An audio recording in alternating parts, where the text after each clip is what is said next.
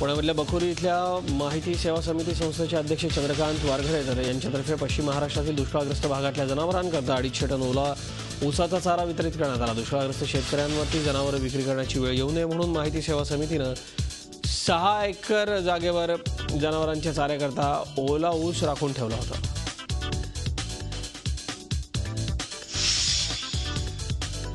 चंद्रपूर जिल्ह्यातील सर्वात जुना बल्लारपूर पेपर मिल उद्योग संकटात सापडला आहे पेपर मिलसाठी उपयुक्त असा कच्चा माल असलेला बांबू चंद्रपूर आणि लगतच्या गडचिरोली जिल्ह्यात मुबलक प्रमाणात आहे.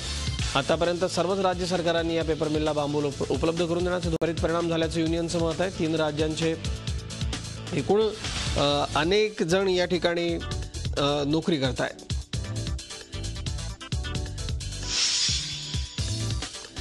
राज्याचे विरोधी पक्षनेते राधाकृष्ण विखे पाटील यांच्या ताब्यातील राहता नगरपंचायतीच्या शैक्षणिक संकुल आणि व्यापारी संकुलाचं प्लास्टर वारंवार कोसळतं आहे शहरातल्या नगरपालिकेच्या मालकीच्या छत्रपती शिवाजी संकुलातील आयटेक खासगी कम्प्युटर सेंटरमध्ये क्लास सुरू असताना अचानक प्लास्टर कोसळल्यानं दोन विद्यार्थी जखमी झालेत. ठेकेदाराच्या निकृष्ट बांधकामामुळे हा प्लास्टर कोसळत आहे या बाबीकडे राहत्याच्या नगरपरिषदेनं साफ दुर्लक्ष केल्याचं दिसून येतं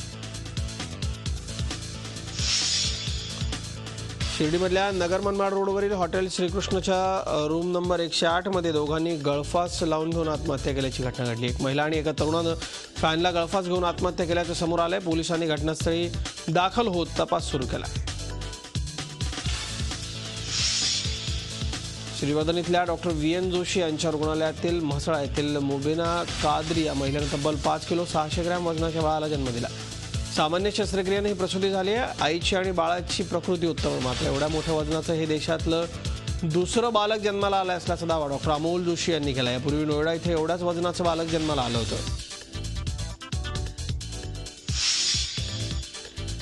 सततच्या वाघ मृत्यू घटनांनी चंद्रपूर वन विभाग हादरलाय. ताज्या घटनेत ताडोबा अंधारी व्याघ्र प्रकल्पाच्या बफर क्षेत्रात मोडणाऱ्या डुनी या गावालगतच्या जंगलात वाघ मृतावस्थेत आढळल्यानं खळबळ माजली. वन विभागाचे वरिष्ठ अधिकारी घटनास्थळी दाखल झाले असून मृत्यूच्या कारणांचा शोध घेतला जातोय. जिल्ह्यातील जंगलात एकूण शंभर वाघ असावेत असा एक अंदाज आहे. विशेष म्हणजे महिन्याभरातील तीनही मृत्यू ताडोबाच्या बाह्य भागात झाले आहेत. आता मृतावस्थेत आढळलेला वाघ हा पूर्ण वाढ झालेला होता. त्याचा मृत्यू चार ते पाच दिवस आधी झाला असल्याची शक्यता आहे.